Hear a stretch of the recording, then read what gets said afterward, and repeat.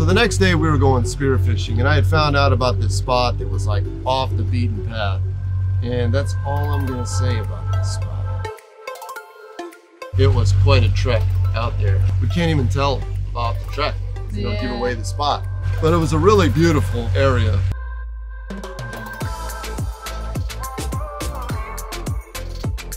Saw a number of things. I mean, you saw that turtle that you were swimming with. Yeah. You know, the first time I remember you like made a beeline for him and he just spooked off. And then we saw him again and then you kind of gradually Yeah. like swam up to him and then he let you swim around him.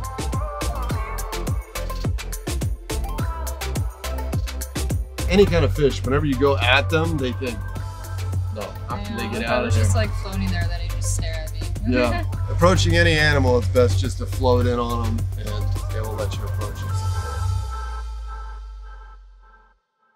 So I got to implement some strategies that uh, Ryan had taught me about spearfishing and shoot a couple of goats. That's like one of the common fish to shoot out there, really delicious. Shot a couple of nice ones.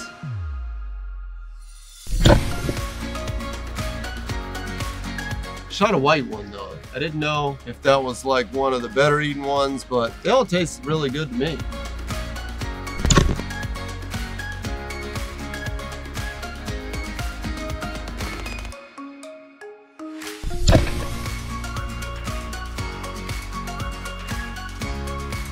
Shot like three goats. I think you took a couple shots out there. I don't know if you hit anything. Yeah. I did. no, I didn't. That was all in the beginning. Well, yeah, that that was part of your training. That was before you could even dive past 30 feet. Yeah, I think that was the first time you really dove with a gun. yeah, I was. Yeah, I had my Koah. Mhm. That was actually quite a bit of the training, free dive training was out there in beautiful Hawaii. So, and well, now you're diving a whole lot deeper than you were there. It would have been cool if you could dive that when we were over there. Yeah, I know. We'll have to go back.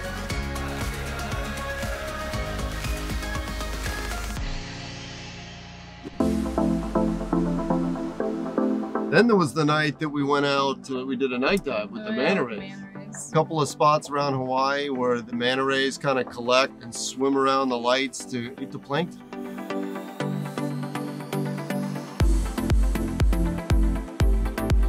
And there's a hotel where the lights just shining down into the water, and then the guide boats come out and put lights out.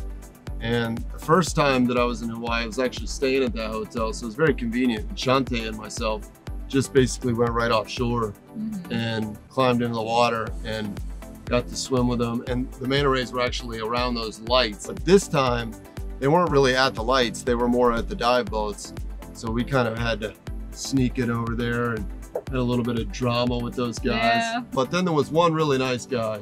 He was like, You guys can come over here and kind of get around the light. You guys had fun? Yeah, man, thanks a lot. We appreciate your kindness. Sorry, you almost ran us over.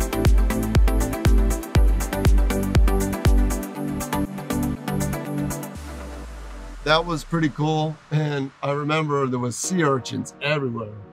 And we were getting out and you like stuck your hand on one first. Wow, the fuck it hurt. I know it hurts. They were like sticking out of your hand. And then my body like slammed against it And too. then- Hold on, hold on, hold on. Oh, hold on. Ow! My god, you just pushed me. I thought you thought I pushed you in. Oh, I was, I don't know, I was just in pain. I was saying whatever. I think I was pushing your butt up there because you were having a hard time getting up. And so you had it in your leg and your hand and they were stinging. It You're was like, painful ah! for like five minutes and then, and then it was okay. I was like, pull them out. right here.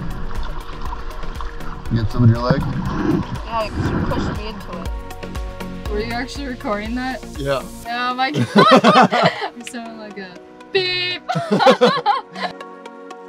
But yeah, that was a cool spot. You can go pay those guides and you can go out there and, and go out on their boat. It's a lot easier. Or you can do the adventurous route, which is climb through behind this hotel and kind of climb down and swim into the night with probably big tiger sharks lurking around, Mhm. watching you go out with a flashlight. It was, It was kind of cool, yeah. That was my first time diving at night. Yeah, Yeah.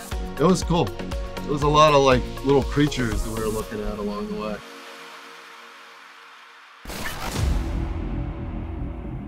So on the final day, we did this WOAH boat. Is it WOAH boat or WOAH boat? I think it's Uh, WOAH. I have no idea. WOAH boat, which is like a decommissioned Navy SEALs boat that is badass.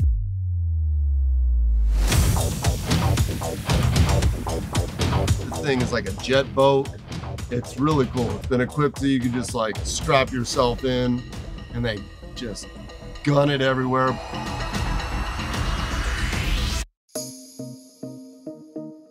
But basically what they do is they run around looking for like sea life, like whales or dolphins or just anything to swim with. And they kind of know how to approach them.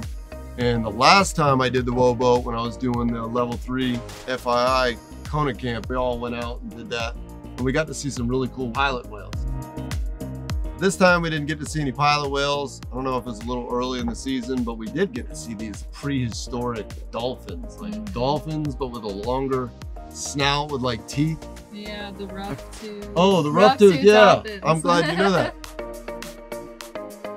I've never seen those before. Mhm. And they came pretty close to us too.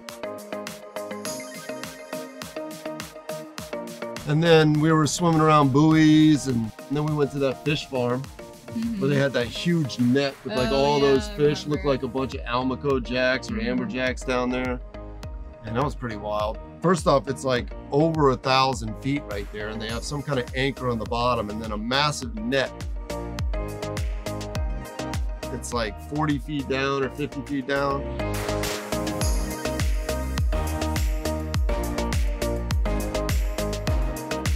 And it's just all these fish just swimming around, and they have a thing on top that just feeds them every once in a while. So we were swimming around them. I was down in the cage. I remember I was laying down there while you Yeah. were video. I took a pretty cool pic of you. But yeah, that was a cool boat. They really, like I said, especially when you're coming in, they're just hitting the waves and like hauling ass. And I highly recommend the WOAH boat. But that was a really cool trip to Hawaii. And then to end it off, we went to a uh, kind of underground freediver party. Mhm. Dylan Courier, actually, when I was doing the Kona camp, he was one of the instructors. Really great freediver. He had a party at his house, and Ryan, uh, we went over there with Ryan and Sam, and we got to meet some of Hawaii's greatest freedivers, including Kurt Chambers, who was basically he was like helping me out. giving you like an hour-long free, like total consulting session, Mhm. help you get past your equalization problems. I mean, he was thorough Yeah. he's a pretty sharp guy. But he was, you know, really telling us some great things that we could do to try and get you past those equalization problems. And I wonder, did any of those work? Did it end up being? well, what he said was right because I was using my stomach. He was like, it's really hard to use your stomach when you're going upside down. So I finally learned how to do the frontal on my own. It took me like a long time and I had to do like weird things when I do it. so you were trying to push from your stomach Because that's what I would do when I was scuba diving. Like I like use my stomach to equalize. I don't even know how you use your stomach to equalize. But he was like watching. He was like, "Yeah, your stomach is moving." He was like, "You, sh- you should be using like here and up." See, I just do it here. Yeah. Now I feel like I just kind of move my jaw or something. It just happens. Yeah. Actually, the other day, it just happened without even me even doing it. hmm Yeah. Eventually, it happens. Well, you girls a have worked hard at it, and uh, you deserve it. Yeah, so that's our epic adventure to Hawaii for my birthday. So thanks for watching another fishing adventures of Judah Clark.